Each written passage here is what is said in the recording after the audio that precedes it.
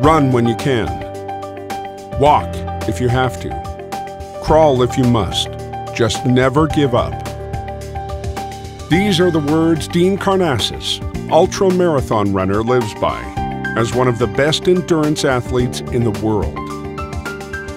Born and raised in California, his father Nick hails from the Peloponnese, while his mother Fran is from Ikaria.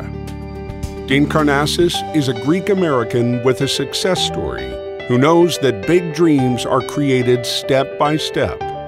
Dean holds a degree in food science technology from the California Polytechnic State University and an MBA in marketing and management from the University of San Francisco's McLaren School of Business.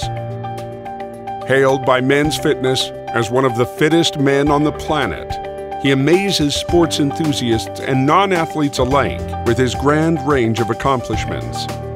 While some complete one marathon a year, Superhuman Karnazes once ran 50 marathons in 50 states in 50 consecutive days, while finishing with the New York City Marathon. His accomplishments, however, do not end there. In 2011, Dean ran 3,000 miles from the coast of California to New York City, averaging 40 to 50 miles per day. He has run 350 continuous miles, foregoing sleep for three nights. From running across the Sahara Desert in 120 degrees to running a marathon to the South Pole in negative 40 degrees, he has run in extreme temperatures for the sake of enjoyment. He won the world's toughest foot race, the Badwater Ultra Marathon, running 135 miles non-stop across Death Valley. Remarkably, Dean has raced and competed on all seven continents on the planet, twice over.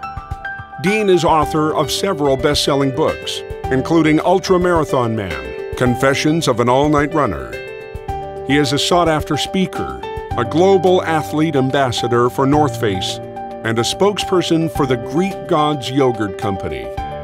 Some of his clients include Nike, Google, Sony, Apple, Toyota, Starbucks, Chase, Amazon, and Facebook, to name a few. Dean has appeared on The Today Show, 60 Minutes, The Late Show with David Letterman, ESPN, BBC, and has been featured in multiple publications including Time, Newsweek, Forbes, People, GQ, and USA Today.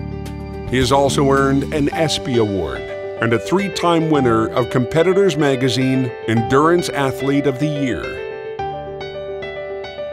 Despite his many accomplishments, awards, and distinctions, he remains humble and most proud of his ongoing contributions of time and funding to programs aimed at getting children and youth outdoors and active.